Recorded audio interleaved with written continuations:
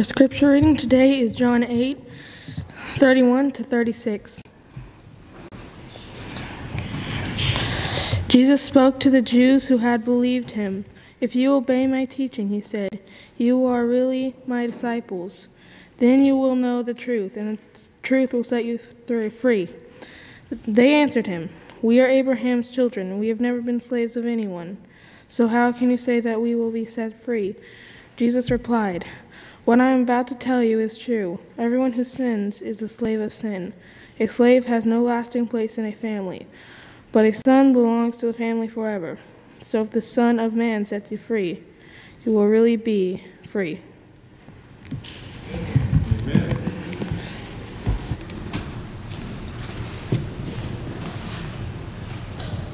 Sorry, I to announce that Lucas was having the scripture reading this morning. Thank you, Lucas. And thank you, John, for the message that you have to bring to us. Good morning. Good morning. Good morning. Good morning. Better. Good morning. Let's bow our heads in prayer as we invite the Lord to join us as we learn about his free gift. Our dear Heavenly Father, thank you for this beautiful day, this summer, this time to be together. And I ask that your Holy Spirit be here with us, that pour out on us, open our hearts and our minds, and will you write your law in our hearts and our minds and change our stony hearts for a heart of flesh? I ask, Lord, that you will, um, that your words will be spoken today and that we will draw closer to you. And thanks for drawing close to us. We pray this in Jesus' name. Amen. Amen. I have to say, I really enjoyed that children's story. Didn't you enjoy that? I love it when Mike gives a children's story. And this time he told me I was cool. That's I like that. So I appreciate that. Awesome. Wonderful talking about Jesus being our living water um, and the free gift goes into what we're talking about so well today. Let's open up in our books to John chapter 8, verse 31. It's our scripture reading for today. John chapter 8, verse 31 and 32. And it's talking about truth. Jesus is talking to some Jews that are there, um, and he wants to talk to them about truth. It's interesting that this happened at a particular time. It happened right after the event of the young adulterous woman that was brought and carried, drugged before him. And she was brought there, and they were wanting him to condemn her and to stone her. And Jesus just bent down, and in the sand, he wrote, he began to write. They pressed him, and so he lifted up, and he said, He who is without the first sin, let them cast the first stone. And he bent down and began to write again. Well, in a little while, when he was done writing, he looked up, and the woman was there alone. And he asked, Where are your accusers? And she said, They've all gone. He says, Neither do I condemn you. Go and sin no more. And so it's in light of this that had just happened. People's curiosity is pricked. They're thinking about this. It just happened. And he says to them, He says, Continue in my word, and you will know the truth, and the truth will set you free. It's interesting uh, to know that truth is really important, isn't it? It is important to know the truth. We could use some examples. They will go through some questions. I want to let you answer to tell me if you think it's true or false. Um, smoking is good for you. Not unless you want to die. false. It's not good for you, right? Surgeon General says that it's harmful for your health, causes cancer. And being in healthcare, I see the results of that. Um, a merry heart doeth good like medicine. True or false? That's true, right? Someone who is happy, maybe not obnoxiously happy, which I tend to get to sometimes, but but someone who is happy, it's nice to see someone who has a smile and greets you. It's good to see you, Michael. Happy Sabbath, right? Marilyn, Jay, good to see you. Beth, Beth, and Robert, right? Good to see you. And you too, Eva. It's nice to see people who are friendly, who are happy, right, Steve? It's good to be around those or merry heart. It does good like medicine. That's true. Um, another question Uh, true or false? This is going to be a silly one. If you decided that you wanted to, if you decided you needed a heart surgery, you needed a bypass, you could go research it on the internet, buy your tools, and perform the procedure yourself. True or false? That's pretty obvious, isn't it? That's false. Another question John Singletary is always happy. Who was that? yeah, that's a false statement, right? I'm not always happy. My family has seen that. In fact, I have to confess, we were driving up to Seattle one time, and I'm not sure how it happened. Um, I think trying to conserve space, pills were put into smaller containers in an effort, or I'm not sure exactly how it happened. I opened a pill bottle. My wife says it just took when I thought it was my, my reflux medication, and it happened to be happened to be Carol's thyroid medication. After two days of taking thyroid medication, I was angry. I didn't even know why I was angry. I was just angry. I woke up angry. I was hot. I was perspiring. Things were uncomfortable. People whispered to me. I was angry they were whispering. If they talked louder, I was angry they were louder. I just, nothing made me happy. I was angry. Until I found out the truth, I couldn't figure it out. What my family would say, "What is wrong with you?" to this day, they talk about when dad took mom's medicine. I am glad I don't take that stuff. I was in some kind of thyroid storm. It was terrible. Felt uncomfortable. My mood was up and down and all over the place. And until the truth came to set me free from the effects of that medication, I was trapped inside some emotions I had not felt so strongly before. But the truth did set me free. Carol shared with me that I was grabbing the wrong bottle. So, truth is very important. And Jesus is saying that the truth will set you free. Listen to another verse. If you want to turn there, it's in Proverbs 30, verse 5. Every word of God is pure. Every word of God is pure. He is a shield unto them that put their trust in him. True. It's true, right? Every word of God is pure, and it's a shield unto you who put your trust in him. Psalms 119, if you want to flip there real quickly, Psalms 119, 9, next book over, says, Wherewithal, or in what way, or how, can a young man cleanse his ways? Here's how by taking heed thereto according to your word. Verse 11 says, Your word have I hid in my heart, that I might not sin against you. Your word. And Jesus says, Sanctify them through your truth. Your word is truth. So when Jesus is talking to the Jews there, he's saying to them, He says, Continue in my word, and you will know the truth, and the truth will set you free. In essence, he's saying, My word is truth. If you follow in my word, it will set you free, right? David declares this. He says in 2 Samuel, verse, or chapter 22, and verse 29, For you are my lamp, O Lord, and the Lord will lighten my darkness. As for God, his way is perfect. The word of the Lord is tried. He is a buckler to all them that trust in him. For who is God, save the Lord? And who is a rock, save God? God is my strength, my power, and he makes my way perfect. David was ascribing his life. He was kind of saying, God, your word, your truth, has made my, my way perfect, my path perfect. The Bible declares more about the Word. The Word is specifically, Jesus was taking a little further than that, though, because it says, In the beginning was what? The Word. And the Word was with God, and the Word was God. And there wasn't anything that was made that was made without Him. He created all things. And it says that in Him was life, and that life was the light of men. So if you're taking this, Jesus is saying, if you, if you follow my words, earlier said you will be my disciples indeed, but if you follow my words, the truth will set you free.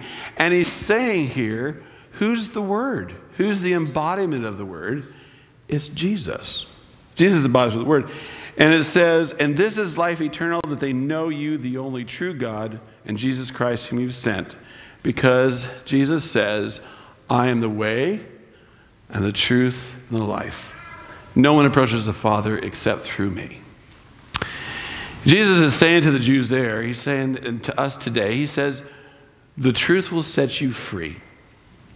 I can set you free. I am the way, the truth, and the life. I am the Word of God. I am God come down in the flesh. And in flesh, you know, he became, came down and dwelt with many, tabernacled with men. It was Jesus who represented God to the world. Philip asked him and said, Show us the Father. And Philip says, Have I been so long with you that you ask, Show us the Father? Anyone who has seen me has seen the Father. Right? So he's saying here that I am the truth. I am what can set you free. So the Jews, they, verse 33 in chapter 8 of John, they have an interesting question. I don't really quite understand it. They answered him and said, We be Abraham's children or Abraham's seed. And we're never in bondage to any man. How do you say then, ye shall be made free? It's kind of like Nicodemus coming to Jesus in the garden and said, How can I be born again? He kind of knew the answer, but Jesus says, Verily, verily, I say unto you, whoever commits sin is a servant of sin. Or it could be translated as slave of sin that sin owns you and you are not free. It's kind of sobering, isn't it? Jesus is telling them basically that they're sinners. And that is the truth when you go through the whole, whole Bible. But there's another point here, too, that we do, and that is that the, they wanted to count the fact that they were Abraham's children. And that gave them a special blessing just for that fact alone, that, that somehow this entitled them to something, that we're not in bondage to anything because we're, were Abraham's children. And Jesus is telling them, You don't understand. Whether Abraham's children by birth or not, if you commit sin, you are a servant to sin, right? And they were, in a sense, being proud. Proverbs 16, 18 says, Pride goes before destruction, and a haughty spirit before a fall. Um, I guess this morning I'm sharing some embarrassing moments in my life. So long before the thyroid moment. Um, back in the, when I was in my late teens, 19 years old, um, I thought I was pretty good at racquetball. And I was pretty good at racquetball. In fact, I had probably played, it had been a long time since I had lost a game at racquetball. And being young and being a guy, um, I just thought I was pretty good. So I went over to, the, to a racquetball court next to La Sierra College where I was going to school. And at a particular place, there were some pretty elite racquetball players that would go there, um, some that were on the professional circuit. And I was hoping to get hooked up with some of them just to kind of see, you know. But I went there and there was this old guy, had just gotten done playing. He was probably 35. and, um, but he was really old and, and he was sweaty he had a little bit of a stomach like I do now. And I looked at him, and there was no one else around. And I said, You know, would you mind playing a couple games with me? I got to go to class really quick. I'll take it easy on you. he just smiled and said, Sure. I, hit, I was able to serve twice at the beginning of each game. Didn't score a point, and I didn't even return a single shot. Everything was a kill shot. Everything rolled out from the front. It died in the back. It, nothing. I mean, I, I stumbled on my own feet. I remember falling on the floor several times. I looked, I looked like I didn't know what I was doing. I looked like I played racquetball horribly. And uh, I was a little down, you know, crestfallen, a little disappointed, realized I wasn't really that good. This old man, 35, had beat me. And he came over and patted me on the shoulder and he said, You know, how good you are is always relative. He said, I, I get to play here, the national champion, and I'm lucky if I get to score a point or two. Of course, that made me feel any better, right? But it, but pride comes before destruction and a haughty spirit before a fall. And we often do that in many areas of our life. We begin to think that we're really good at things and we can do it. And sometimes we want to say that we can do something for our own salvation. That we can do something. Lord, let me know what I can do for my salvation. And the Bible is full, it is chock full of information that says, You are a sinner. All men have sinned and fallen short of the glory of God. And guess what? Your righteousness is like filthy rags. You may look good next to someone else, but when you go stand next to the Savior, you're like filthy rags. Right? Just like playing racquetball. May look good next to somebody, but when you get next to you, ne- you get next to the model of what the, the best is with Christ, it shows our imperfections. It says in James 4 6 that God resists the proud, but gives grace to the humble. But we are all as unclean thing, Isaiah 6 says, and all our righteousness are as filthy rags. And in Revelation, it says that Jesus um, tells the church that we are increased with goods and feel like we have need of nothing, but we are unaware and do not know that we are wretched and miserable poor, blind, and naked. Yeah. Those are a lot of really good texts to make me feel good. It's true, though. We all have sinned and come short of the glory of God. There is nothing that we can do. Isaiah says that we have all gone astray like sheep, and on the Lord was laid the iniquity of us all. Paul declares in Romans 7, he says, O wretched man that I am, who shall deliver me from this body of death? Right? We're sinners. Amen. We cannot save ourselves. I can no more go and give myself a bypass surgery than I can save myself. It cannot be done. And yet we try. We do try. But in all of our efforts, it's like filthy rags. Have you ever tried to, when you're washing your car and you, you, I've done this before. I'm washing my car, and in my exuberance, I tend to I wash the wheel, and then I go back to washing the car. And that rag is so dirty after washing that wheel, you're like, why did I do that? You know, get the wheels last. You just can't clean anything if it's dirty, right? And we can't clean ourselves because we are dirty. We are in need of a Savior. Sin, what Jesus said he would free us from, he said, those who are slave of sin, or those who commit sin are slave of sin.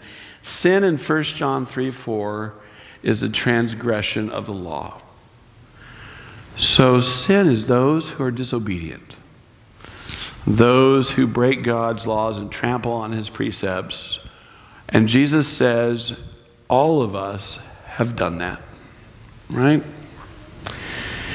And then comes that text, Romans 6.23, that Larry read this morning says the wages of sin are what? Death. But the gift of God is eternal life through Jesus Christ our Lord, right? So the wages of sin is death. So my life, the, the perfect and just treatment of that, the wages and the earnings from the accumulation of my life is death. That is a very sobering thought.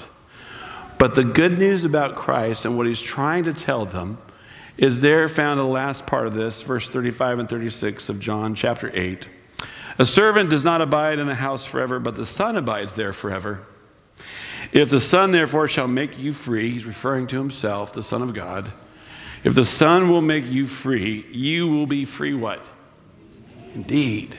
For sure.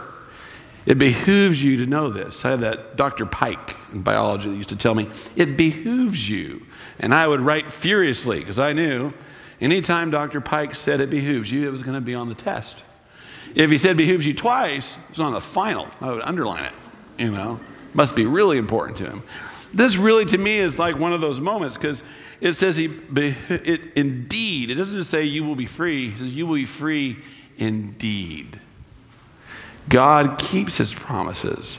He is not slack in keeping his promises, some, right? He keeps his promises. Romans 8, 1 through 4.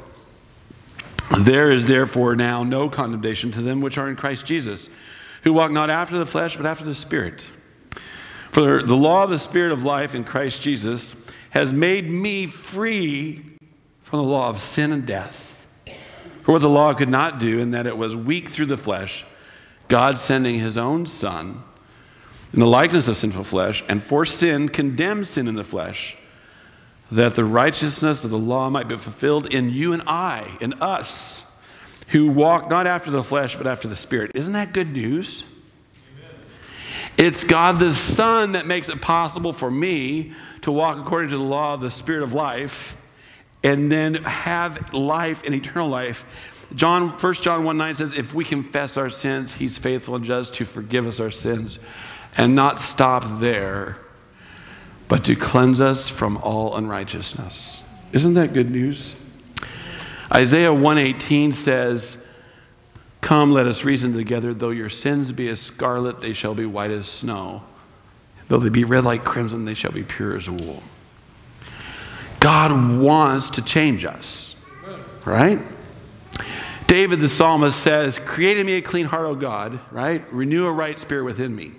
Restore unto me the joy of salvation, and then will I teach transgressors your way. Right? God wants to create a clean heart. When you look at the promises of God, and they are numerous, look at what he promises to do for us. This is the truth that he's talking about. It is true that God wants to forgive us. True? Is it true that God can cleanse us from all unrighteousness? In other words, God can cleanse you, yes, you and me, from unrighteousness, meaning He can cleanse from us and wash away our tendency to break and trample and be disobedient to the law of God. It is true that He will write His law on our hearts and our minds, right? It is true that he gives to all men a measure of faith. It is true that he calls us brothers and that we are now joint heirs with Christ, adopted into the family of God, that we're not just we're not just a, another creator. We are, we are the children of God, the king of the universe, the creator, right? It is God that says, Let not your hearts be troubled right? Don't be troubled because I am going to prepare. It's true, right? He's going to prepare a place for you, and He's coming back to receive us unto Himself. It is God that says, as far as the heavens are above the earth, are my thoughts and your thoughts. I are my ways than your ways. And I will remove your sins from you as far as the east is from the west. That's pretty far, isn't it? That's an infinite God. He says, I will remember your sins no more. That is, that is truth. That is who our God is. Many people try to, be, try to wrestle with this and they struggle and they say, Well, I keep doing sin or I keep doing things wrong and I wrestle. And the devil points things out to them and they go, There's no good in me. I don't know. And they struggle with it. Some are on the other spectrum and they're like the Pharisees and go, Oh, thank goodness I'm not like that person over there. And we wrestle with this because we're focused on ourselves. But God wants us to focus on Christ, looking unto Jesus, the author and the finisher of our faith. Right? And Jesus also focused on his Father. He said he didn't even speak anything unless he was guided by his Father. But when he was living as a sacrifice for us, willing to die for us, and then indeed did die for us, it says that he did that because he was looking forward to the joy that was set before him. And we are that joy. Right? And he sits down on the right hand of the throne of God. Now, in Jewish custom, the attorney or lawyer that sat down on the right hand of the throne of the judge was the one who was your advocate and your defender. The accuser would be on the left hand. So, writing that to the Hebrews in Hebrews chapter 12, they would understand what Paul was saying that Jesus is our defender, right? That he is set down on the right hand of the throne of God to defend us, right? It is true that we have an advocate with the Father who in all points was tempted but did not sin. Right? And it is true that we have a perfect Lamb of God that died and rose again and is coming back. That's truth. And it is also true that he who has begun a good work in you is faithful and able to complete it and to finish it. Right? See, I think what we struggle with is the deceptiveness of this world and the deceptions that there are in this world. We, we lose hope because we don't, we don't realize the full impact of the truth of what God is trying to tell us.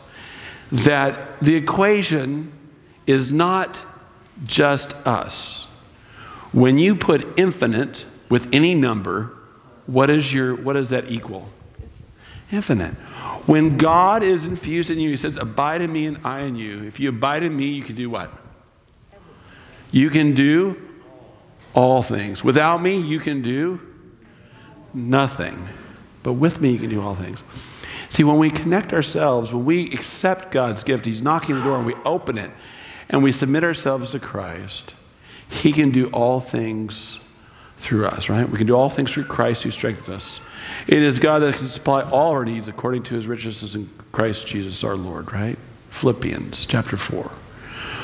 The truth is, we are to look to Jesus and that he can change you. That's the truth. It's, it's, it's tried to cover it up. People try to hide it. They try to say it's hard. They try to say this is difficult. Jesus says something opposite. He says, My yoke is easy and my burden is light. The difficult part is surrender. To actually go and put on that yoke, carry that burden, which is easy and light. We struggle. We're like Jacob wrestling on the side. We, we wrestle with self, right? I want to do things myself. I want to be able to say I did something. Wasn't it, wasn't it Nebuchadnezzar that said, This is that great Babylon I have built? And then he spent seven years eating grass with the dew on his forehead till he realized that there is only one God that sets up kings and takes them down and knows the end from the beginning. That is the truth. And I was talking to my daughter on the way in today, and I said, You know, I have the message today is a bit simple. And then it struck me that God uses the simple things to confound the wise, right? We try to make this more complex than it is. We try to add layer upon layer of difficulty, when in reality, we must run to Christ like the little children and seek his blessing. And it says that all who come to me, I will no wise cast out. If you go to Jesus, truth, he will not turn you away. If you cast all your care upon him, he cares for you. He listens and he hears. Before you have asked, he says, he has what? He has answered. He knows us, and he knows the number of hair on our head, which is getting less now. Right, Mike? Amen. Amen. I won't go yet. Some of it is real easy to count, uh, easier. Um, but God knows everything, keeps the entire universe going, and yet He cares about each one of us, and that is truth. So the truth is a simple truth, and that there is no way to approach the Father except through Christ. He is the way, the truth, and the life. And that is the truth that will set you free. Right? Free from sin, free from disobedience, free from transgression, free from the things that, free from the wages of sin, and you receive the gift of God, which is eternal life. Right? Free from yourself. Free from ourselves. Right? And what I like to think about is what is it going to be like when Christ comes? Can we imagine what it's going to be like when, when, when life is restored? Do we have, I guess we can't imagine because I imagine a whole bunch of things. I've imagined with my kids a planet that is one giant water slide and you go through and you eat fruit like mangoes as you're going through and you know you spend a year on this water slide because what's a year in the light of eternity you know And, uh, you know, every seven days on this slide, we stop and we have worship and we pray and sing and have a great time. And then we hop back on. You know, that's, that's kind of the thing, you know. But it says that eye has not seen, nor ear heard, nor has entered into the hearts of men or into their imagination what God has prepared for those who love him. Amen. Right? It is unimaginably good. You, you can imagine some really great things, and it's still not going to be as good or as big or as awesome as what God has prepared for you who love Him. Some of my favorite texts are when Jesus comes. It says that the, for the Lord Himself will descend from heaven with a shout, the voice of an archangel the trumpet of God, and then the dead in Christ will rise first. That's going to be a scene, isn't it? Isn't that going to be an awesome scene? Think about it. Grandpa, grandma, poof, there you are. They're no longer old. You know, they're not old like that 35 year old racquetball player anymore. They're young. They're ready to move in the vibrant of life. And then we which are alive and remain, we get caught up in the air with them and so into the clouds to meet the Lord. And so shall we ever be with him. You know, and then it says this corruption will take on incorruption, and this mortality will take on immortality. Death, where is your sting? O grave, where is your victory? There is some wonderful things that God wants us to know.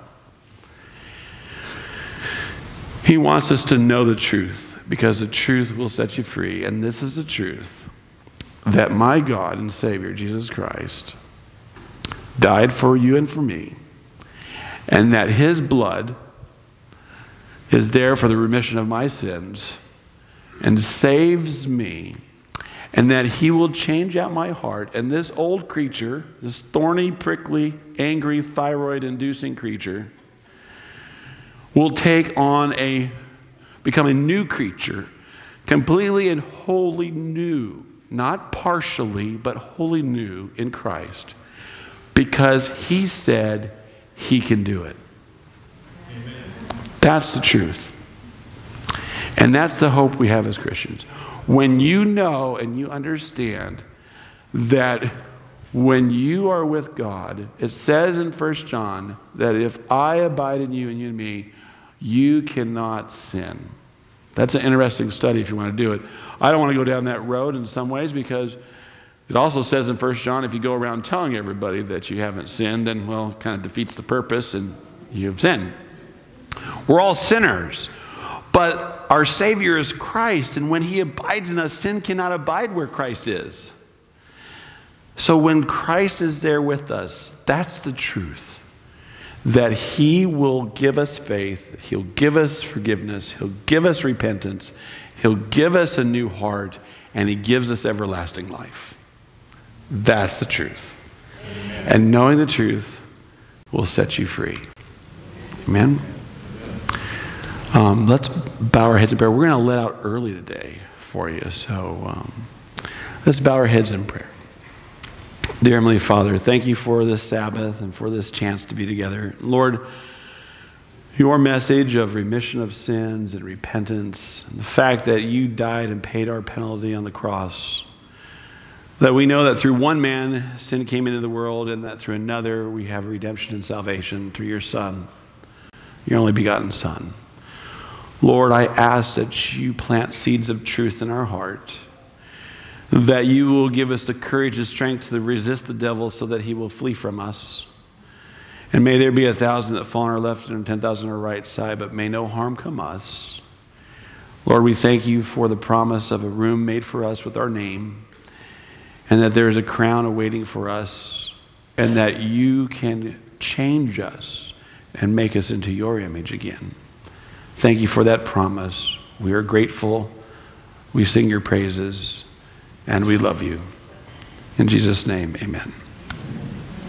Amen.